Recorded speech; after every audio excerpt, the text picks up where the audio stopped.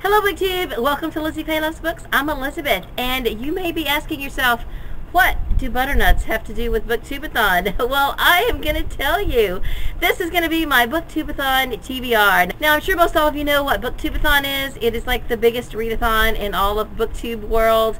It is uh, hosted and created by Ariel Bissett, and of course I will link everything down below. And she has come up with some amazingly creative challenges again this year, and so of course I am going to participate. I believe this is my fourth year in a row to participate in Booktubeathon. So here we go. So the first challenge is to let a coin decide your first read. So this is where the butternuts come in. I looked up butternut and I discovered that a butternut is actually a type of walnut that comes from a butternut tree. But most often when I think of butternut, I think of butternut squash, which I have purchased just for this occasion because I have two different book series with the word butternut in the title and I'm going to let a coin flip decide which of these series I start first. Now, the first series, which will be heads on my coin, is the Butternut Lake series by Mary McNear. The first book is up at Butternut Lake. The second one is Butternut Summer. There's actually a 2.5 novella that is a Christmas-themed novella. I couldn't get a hold of it in print. Then book three is Moonlight on Butternut Lake. And as I said before, these are by Mary McNear. There are currently 5.5 books in this series with a sixth book coming out in uh, the fall of this year. But for now, I have checked these books out from the Bookmobile in my county, and they are available on audio on Hoopla. So I am excited to start these. The other Butternut series I actually own. It's the Butternut Creek series by Jane Masters Perrine or Perrin. The first one is The Welcome Committee of Butternut Creek. The second book is The Matchmakers of Butternut Creek. Look at these awesome covers. And the third one is The Wedding Planners of Butternut Creek.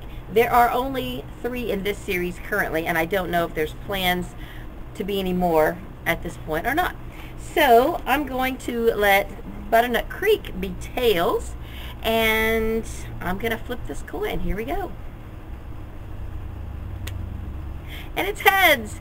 Yay! I'm kind of glad that it's heads because a couple of weeks ago I checked this out on audio from Hoopla and it's going to expire I think on August 1st and I didn't want to have to recheck it so I'm excited that I'll be able to read this, listen to this first before um, it expires. Alright, so the next challenge is to read a book about something that you want to do.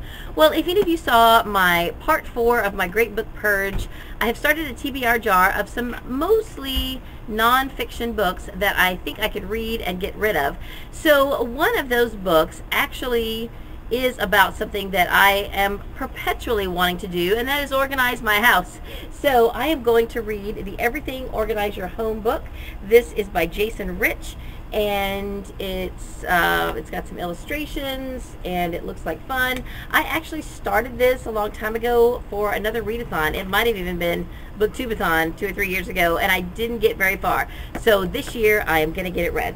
The next challenge is to read and watch a uh, book to movie adaptation and I am I have picked a book that I've actually already read but I really want to see the movie and I didn't want to reread the book so I have the graphic novel. I'm going to read the graphic novel and I'm going to watch the movie and that is A Wrinkle in Time. Uh, I've read the book at least three times so uh, I'm excited to uh, read the graphic novel which I've never read and this is by um, Hope Larson and here it is.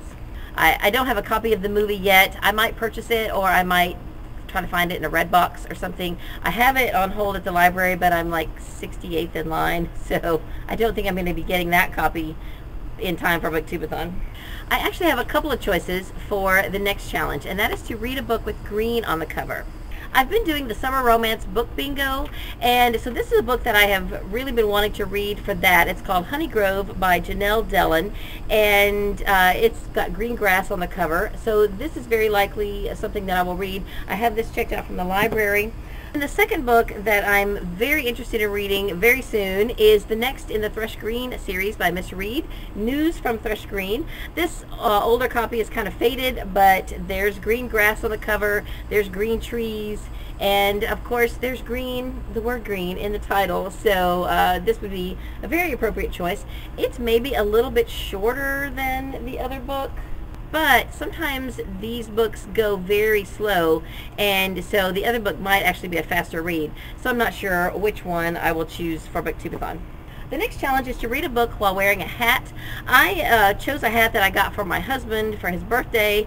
It says I'm not old, I'm vintage and uh, I'm going to wear that while reading my shortest book. Now this is actually not a book that I chose or picked out.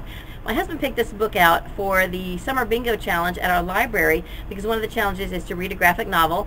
And I took a look at it and saw that it was super short. It has very little text. And I thought, you know, if nothing else, this would make a good seventh book, you know, because it's short. And if I'm having a hard time fitting in seven books, then this would be a good choice. And since I might actually forget to put my hat on to read a book, I thought it might be good to pick a book for this challenge that I could read in one sitting. So this is Beowulf by Gareth Hinds, and uh, I remember vaguely reading a little bit of Beowulf when I was in high school. I don't remember anything about it, uh, and this is a graphic novel. So um, my husband had checked out, and I decided that I would go ahead and read it while we had it. The next challenge is to read a book with a beautiful spine. Now, I could go ahead and pick Honeygrove for that because you can't really tell because this spine's a little bit worn, but the spine is just kind of a small sampling of the cover, which is very beautiful. But I went to my own shelves and I found what I think is the most beautiful spine on my shelves, and it is the uh, Vintage Teacup Club by Vanessa Greene also has green on the cover and has green on the cover. So this would really work for um, more than one challenge. But the spine has the um, collection of teacups on the spine and it's just beautiful. I love dishes. I love porcelain china. So uh, this book caught my eye. I got it at a book sale a long time ago and I'm hoping that there might be enough romance in here that it will count for my summer romance book bingo as well. So that book would meet several challenges. And then the other challenge is to read seven books. So I'm pretty sure I've shown you seven books. I also have two or three other books out here. I'm finishing up the Sunshine State books. I have three left to read. Uh, one of them is the Eureka Key. It is, I believe the series is called Secrets of the Seven by Sarah L. Thomson. Um, if I don't get to this one, I just started one, and I might not get very far in it before Booktubeathon starts. So if that's the case, then I'll just read it during Booktubeathon. And then because very few of these are available to me on audio, um, I might possibly go ahead and listen to the next Flavia de Luce book. Uh, I have it checked out from the library right now, but I've loaned it out to one of our book club members. And the second book is called The Weed That Strings the Hangman's Bag, a Flavia de Luce mystery. This could also count for something that I want to do because it's about a puppeteer. Although I don't want to be a puppeteer, I already am a puppeteer, but I, I always want to be a better puppeteer. So I could finagle that around in my head and make that one work uh, if I didn't get my home organizing book read. So, um, so that might work too. So that about covers it for the Booktubeathon challenges.